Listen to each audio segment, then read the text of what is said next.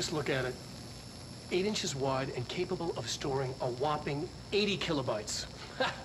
Stolen by our friends at the CIA, the disk held the launch codes to Soviet nukes. Uh, this is not the disk, of course, but one exactly like it. A, a perfect fusion of concepts vibrating in the Cold War era collective unconscious. A receptacle. It is a receptacle for dangerous energies to hone in on. And they did. We don't have the details, but when things started flying around the disk, it was transferred to us. It's an object of power.